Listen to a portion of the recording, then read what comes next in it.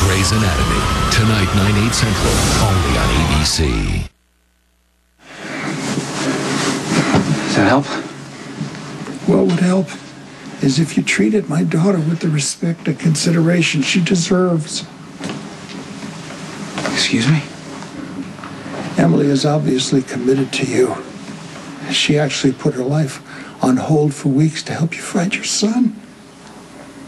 Emily's commitment is what is what made the difference. Without her, I may not have found my son. I'm not sure what you mean. This is how you pay her back. Dr. Quartermaine, I don't follow.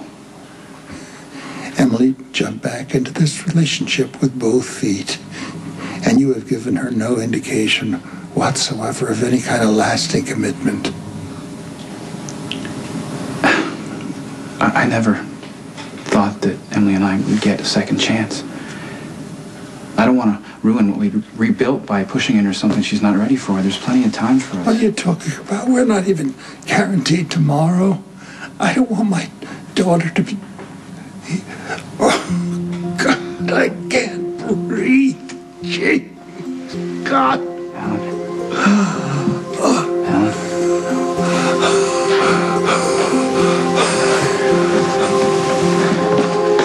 We need, we need some help in here, please.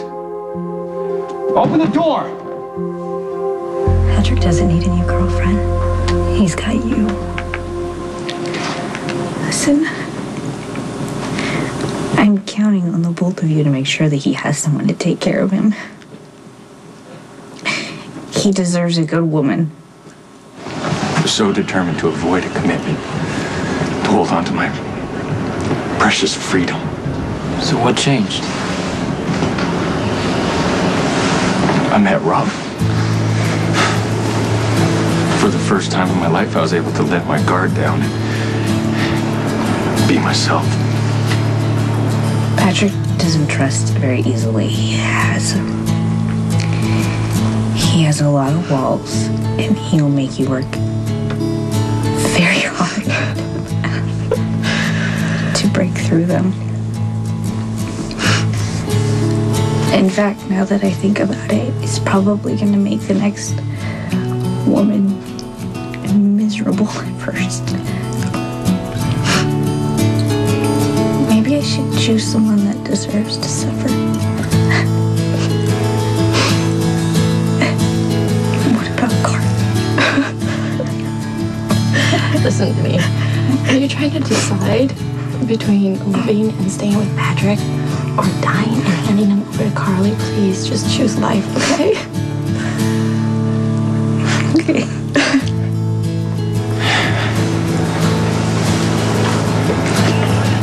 I love Robin so much.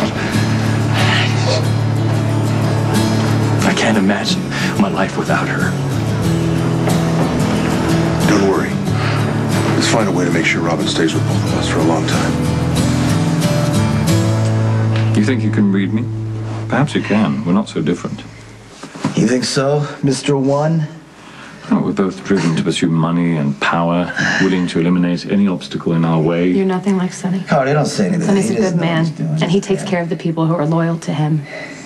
All you have are hired henchmen and a gun. You're nothing compared to Sonny. Wow.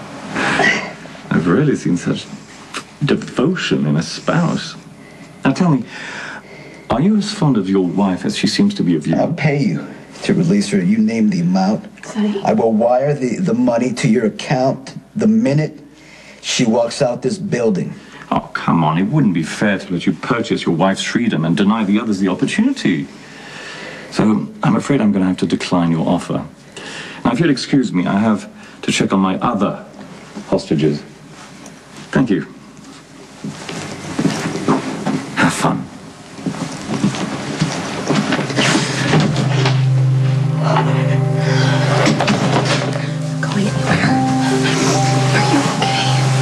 To your devotion, spouse. Yeah, well, he had a gun on you, and I haven't said anything to stop him from shooting you. So you didn't mean all those nice things you said about me. I meant them. Glad you still believe in me.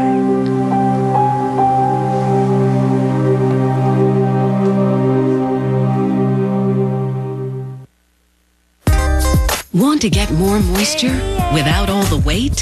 What you want?